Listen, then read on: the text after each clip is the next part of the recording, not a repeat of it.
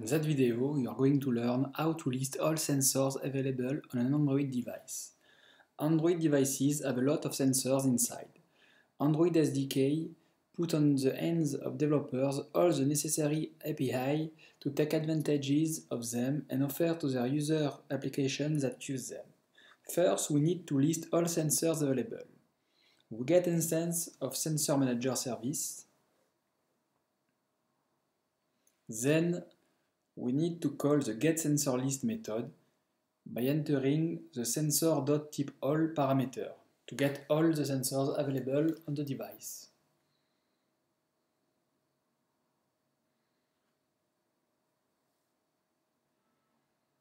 With that call, sensors list contains all the sensors available on the Android device.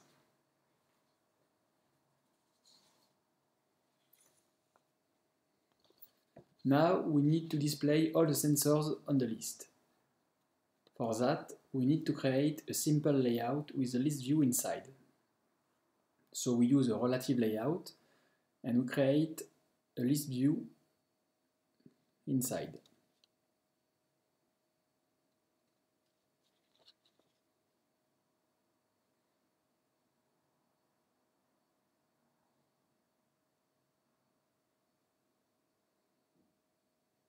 Now we must define the layout for row items.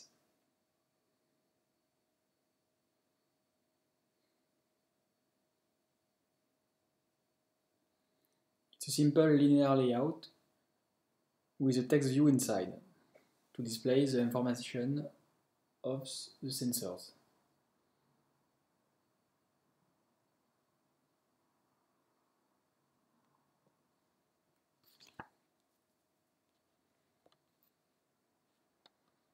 Now it's time to define the adapter implementation of our list.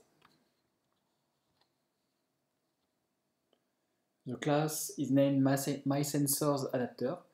It extends the ArrayAdapter class from the SDK with the sensor parameter because we, we choose to display sensors in the list.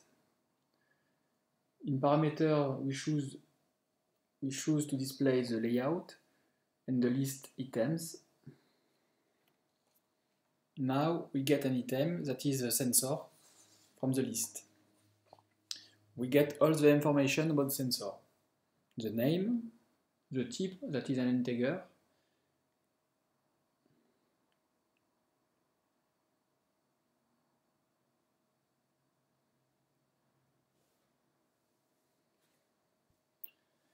Note that we use the viewHolder pattern in the getView method.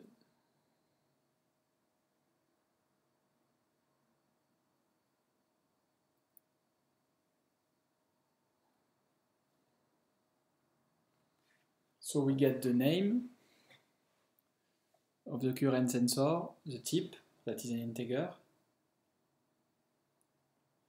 Then we use an utilitarian, an utilitarian method to convert the type, uh, the integer type into string.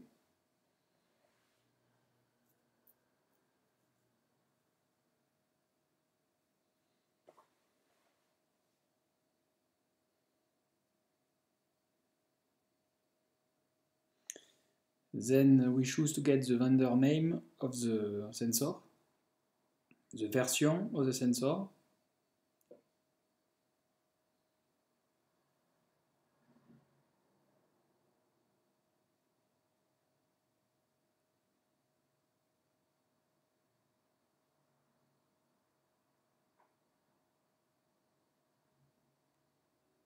then the, the power of sensor, and last, the maximum range. All this information will be displayed in the list of our application.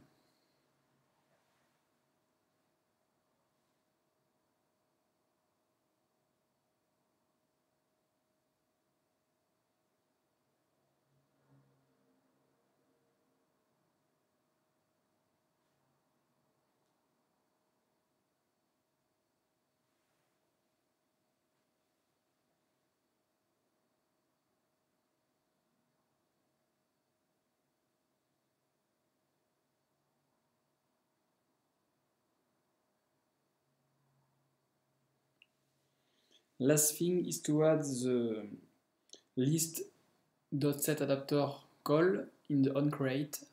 So we need to find the list with a find uh, view call.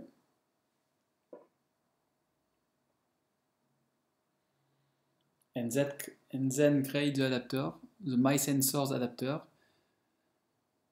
and put the sensors list inside.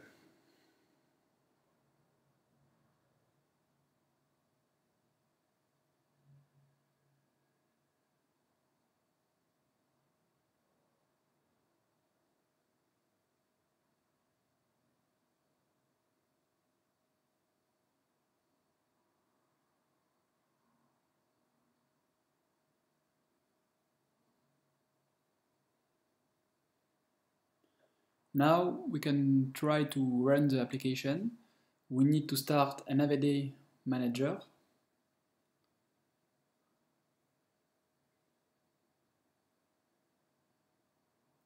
It's a long process.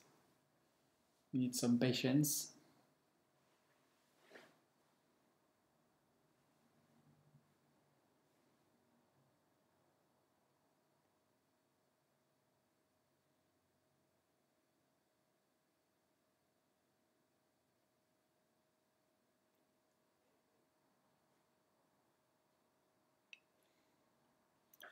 So the AVD is starting.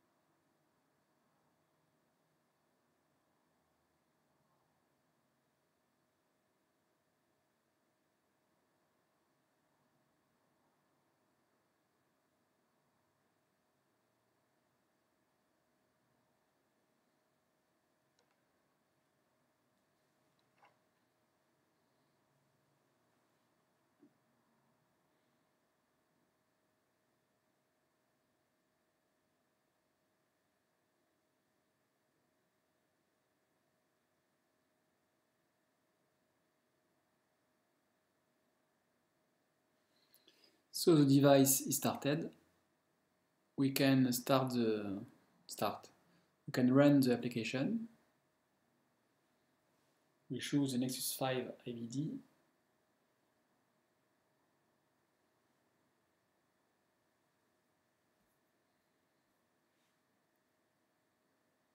We need to wait during the Gradle build. It can take some times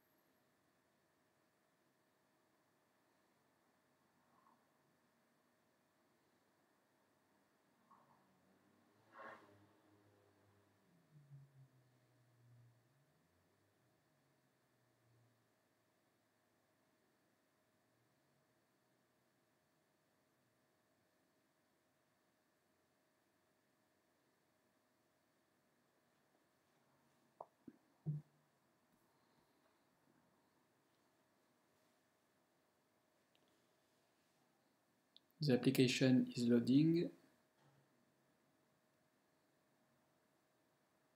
And we are going to see all the sensors displayed.